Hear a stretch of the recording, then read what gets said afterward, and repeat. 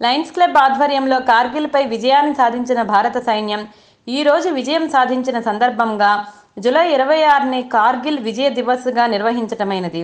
కార్గిల్ అమరవీరులకు కొవ్వొత్తులతో నివాళులు అర్పించిన లయన్స్ క్లబ్ గన్నేరువరం సభ్యులు అధ్యక్షులు గంప వెంకన్న కార్యదర్శి బోర శ్రీనివాస్ కోశాధికారి బోర రామకృష్ణ ఉపాధ్యక్షులు Mudike Balaraju member of director Bora Venkateshwar board of members Gollapelli Ravi Boina Balaiah Gaddam Sumith Reddy తెల్ల భాస్కర్ బద్దం రాజేశ్వర్ రెడ్డి తెల్ల రవీందర్ కొట్టే భూమయ్య సందనవేని ప్రశాంత్ రాములు మరియు గ్రామస్తులు కూడా పాల్గొన్నారు.